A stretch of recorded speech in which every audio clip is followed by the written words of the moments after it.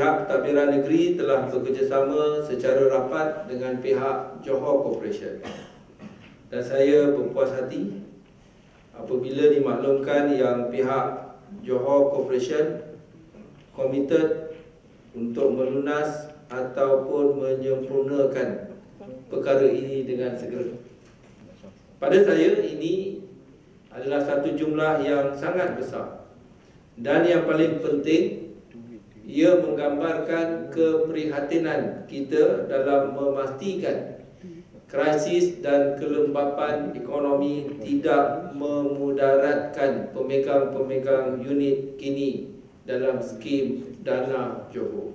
Skim dana Johor tidak mencatatkan kerugian atau kehilangan yang memudaratkan seperti skim-skim dana lain yang terkesan teruk akibat krisis-krisis kewangan sebelum ini. Saya berharap perkara ini dihargai oleh semua pemegang unit saham Dana Johor.